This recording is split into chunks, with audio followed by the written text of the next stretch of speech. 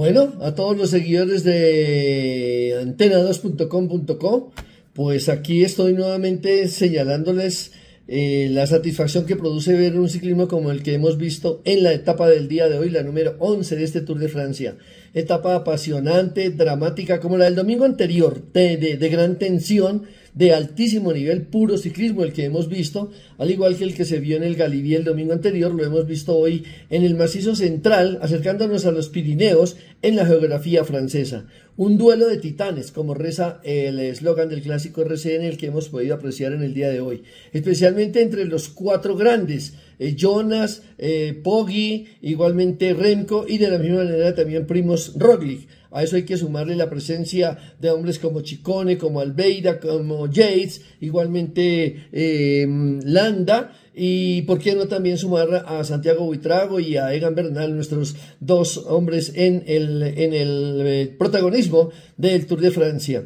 La carrera se caracterizó por eh, los primeros kilómetros intensos con una fuga de la cual hicieron parte algunos corredores como Richard Carapaz, por ejemplo, que pues, soñaba seguramente con la posibilidad de ganar la etapa, pero demuestra que no está bien, no anda bien, al igual que Guillaume Martin, Lascano, igualmente el español, pero finalmente podría más en los últimos 50 kilómetros la fuerza del grupo, la fuerza de los mm, mejores 10 o 15 o 20 corredores que se fueron poco a poco descontando la mínima ventaja que obtuvo la fuga. Tampoco hoy tuvo una gran diferencia en su favor el grupo de escapados y por lo tanto la victoria se la jugaron entre los grandes. Finalmente, Jonas ataca cuando estábamos ya en los últimos 20 kilómetros en el penúltimo premio de montaña.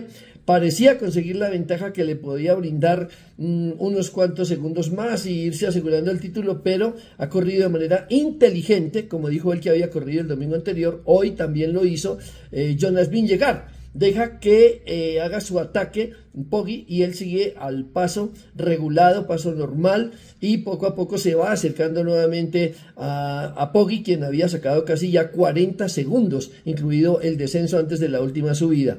Jonas se las arregla para irse acercando a su rival, los dos transitan los últimos kilómetros, la última subida y llegan al embalaje a resolver en favor de Vingegaard, quien con, de esta manera demuestra estar en la condición ideal para defender el título del cual es eh, poseedor.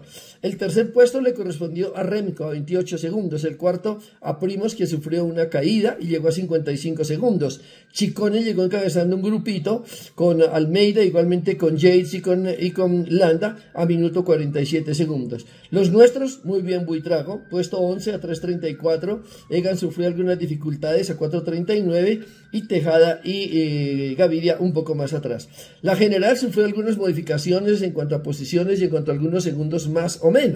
Eh, Tadei sigue de líder, Renko sigue a, a 1 minuto 6 segundos, Jonas ahora es tercero a 1.14, Primos a 2.15, entre estos cuatro se juega todo, me parece a mí, y a pesar de que falten dos etapas durísimas eh, en este fin de semana y la, y la próxima semana eh, el round final. Quinto es Almeida 4.20, sexto Carlos Rodríguez eh, y luego Landa a 5 minutos y 38 segundos. Yates a 6.59 para hablar del top 10. Luego está Santiago Buitrago en el puesto 14 a 9.41 y llegan a 10.18. Harold a más de una hora, al igual que Gaviria, pues ya bastante atrás como es lo, lo normal en esta clase de corredores, los super velocistas. Mañana una nueva oportunidad para los velocistas, serán 203 kilómetros con, con tres premios de montaña de cuarta categoría, pero en general la carrera plana, algunos columpios destinada al lucimiento de los kamikazes de los 200 metros. No les quepa duda, queda mucho tour, mucho duelo, mucho eh, interés. Sigue despertando el Tour de Francia entre estos cuatro tenores, Jonas, Tadei, Remco y Primos Roglic. Mañana les estaré contando nuevamente qué sucedió con los velocistas. Gracias, hasta luego.